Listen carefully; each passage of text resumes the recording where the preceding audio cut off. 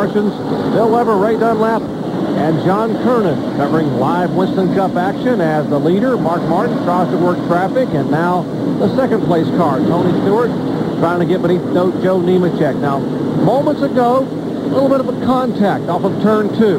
Go down the corner, and there's the contact between Dale Earnhardt Jr. in the 8 car and Jeff Burton in 99. Let's see what Parts Plus onboard camera shows.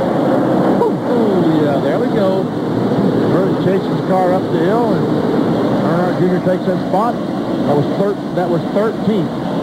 And now Ned Jarrett, the next car to go a lap down will be Jeff Gordon. He is in the 16th position. Mark Martin moves on the inside of him. Gordon, remember, lost a cylinder about 20 or 30 laps ago. Now he's up there in fourth position when he lost that cylinder. Now there's a lap down. Tony Stewart now moved to the inside. And the four car Bobby Hamilton on pit road. The Kodak crew now changing tires. They've already changed right side tires. They go to the left side of the car. Well, this is a little earlier than I thought they would need to come in. John? I think is just a little bit early for a scheduled pit stop for the four car because they had moved up into the top five, but it came in saying four tires. I don't see any problem with the tires, so maybe they decide to come in a little bit early, short pit, get the fresh tires on, go out there and run a lot of hard laps, fast laps, faster than the leaders and make up some ground that way. To Bill Weber. Well, Mark Martin continues that on the racetrack and having a good run, but his car is still tight. So he just talked it over with Jimmy Fennig. They're going to loosen it up one more round when he pits for about 75 laps into this set of tires. Still maintaining the lead as they go around John Andretti. Andretti another lap down. More on the Bobby Hamilton pit stop with John Kernan. Just talked to Danny Gill, the crew chief, and he says, yes, it was early. They were having a problem with the tire.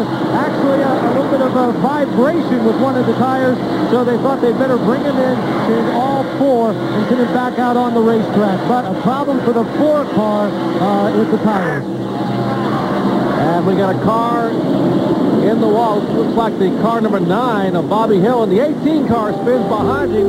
The point leader gets a little bit of a bump from behind, I think, and Bobby Labonte spins. And here comes the leader. Bobby's going to lose a lap. As the leaders go by, Bobby gives it back in gear and puts the foot on the throttle, but he will lose a lap by virtue of being tagged and spun in turns three and four. How quickly things can change. Right now, his hand's asleep. You see him moving, shaking his hand in there? His hand's asleep. At this racetrack, holding that wheel like that and trying to turn it so hard, your hand will go to sleep. Well, we had a report earlier that he was having cramps, uh, what, his leg, and it could be that, that he was already, his hand was uh, cramping a little bit as well. It'd be hard to imagine you can get isolated cramps just in the lower extremities now. And the treatment of that would be hydration, but you can't get enough to drink in the race car here. And they don't have enough time in the pits, so they're, you heard uh, Ray Dunlap say a little bit ago, they will consider getting possibly a, a stand-in driver for Bobby Labonte. Pit stops the order of the day. They head down pit road at 35 miles an hour. To you, Bill Weber. Mark Martin has the second place car fitting right in front of him. That's Tony Stewart. For Mark, again, one round out because his car is tight. Should be no changes for Tony Stewart. In fact, they've only made one slight air pressure adjustment the entire night. Left side tires going on to six. Topping it off with fuel now. He's away. Stewart right in front of him. They will drag race down pit road. That looks might have beaten both of them out. Looks like you had it right. The Rusty Wallace might in fact have beaten them both out. By virtue of being further down pit road, Rusty Wallace, then Martin, then Tony Stewart in that order as they exited the pits.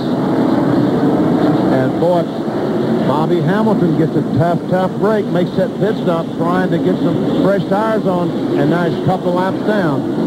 And John Kernan, what about Dale Earnhardt pit stop?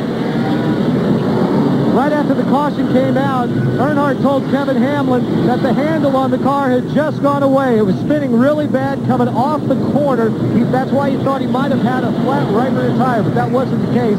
So they came in, put on four fresh tires, made no chassis adjustments to the three car. All right, the 18 car's in front of you, Ray. Well, Jerry, Bobby Labonte is not very happy about just when, what went on on the racetrack. He said his right foot is a terrible cramp. His left side is going numb. He wants a bunch of water here, and he has said he is going to stay in this race car if it kills him. He wants to finish this race right now. Bobby Labonte wants to win the Winston Cup Championship, and those are the kind of things that'll help you win the Winston Cup title.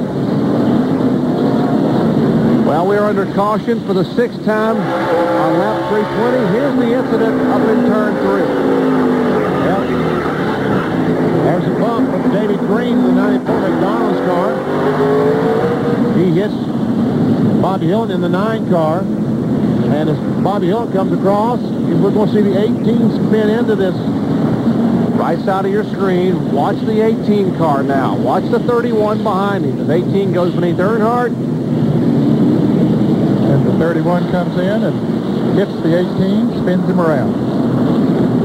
Now from the Interstate battery's onboard camera, show you what Bobby saw at his windshield. He was trying to go down to the inside of Dale Earnhardt, thought he had that pass made, and all of a sudden he gets hit from behind and around he goes. Just trying to mind my own business and get down low. And Bobby Labonte was putting that car in first gear before it stopped.